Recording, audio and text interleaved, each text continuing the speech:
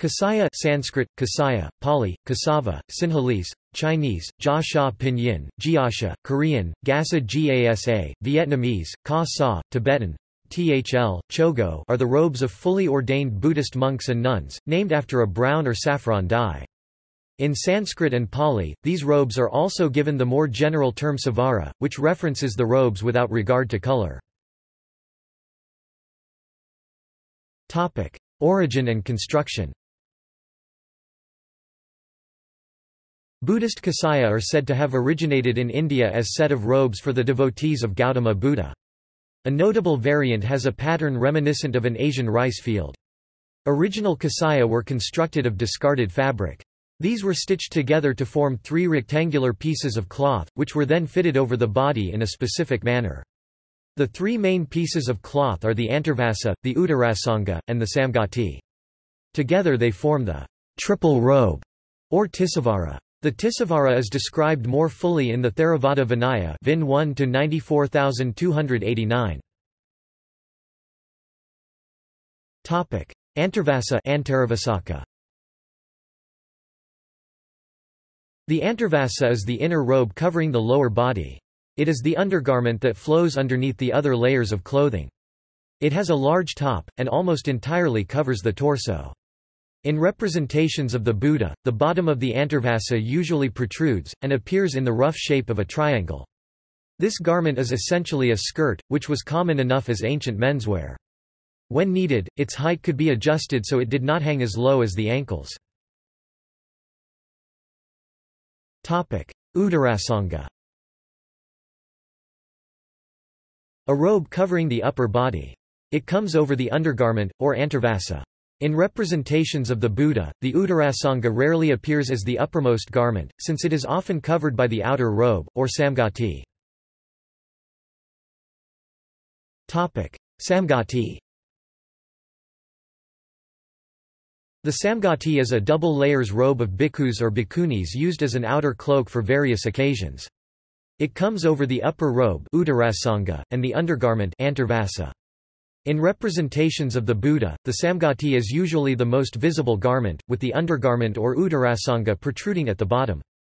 It is quite similar in shape to the Greek himation, and its shape and folds have been treated in Greek style in the Greco-Buddhist art of Gandhara. Additions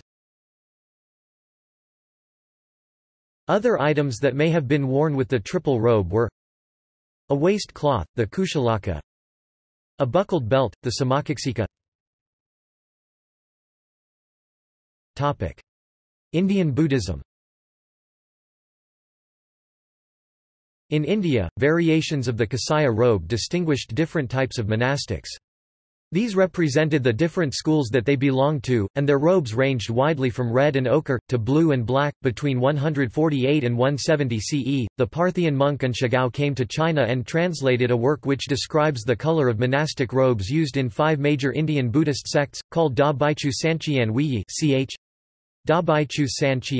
Another text translated at a later date, the Sariputraparapurusha, contains a very similar passage corroborating this information, but the colors for the Sarvastivada and Dharmaguptaka sects are reversed. In traditions of Tibetan Buddhism, which follow the Mulasarvastivada Vinaya, red robes are regarded as characteristic of the Mulasarvastivadins. According to Dudjom Jigdral Yeshe Dorje, the robes of fully ordained Mahasamghika monastics were to be sewn out of more than seven but no more than 23 sections.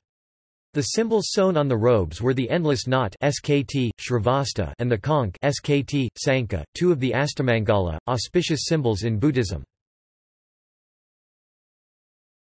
Jiasha in Chinese Buddhism In Chinese Buddhism, the Kasaya is called Jiasha ch. Jia Sha. During the early period of Chinese Buddhism, the most common color was red. Later, the color of the robes came to serve as a way to distinguish monastics, just as they did in India. However, the colors of a Chinese Buddhist monastic's robes often corresponded to their geographical region rather than to any specific schools. By the maturation of Chinese Buddhism, only the Dharmaguptaka ordination lineage was still in use, and therefore the color of robes served no useful purpose as a designation for sects, the way that it had in India. During the Tang dynasty, Chinese Buddhist monastics typically wore grayish-black robes, and were even colloquially referred to as zi, zi those of the black robes. However, the Song dynasty monk Zanning CE oh oh writes that during the earlier Han Wei period, the Chinese monks typically wore red. Kesa in Japanese Buddhism In Japan, the kasaya is called kesa.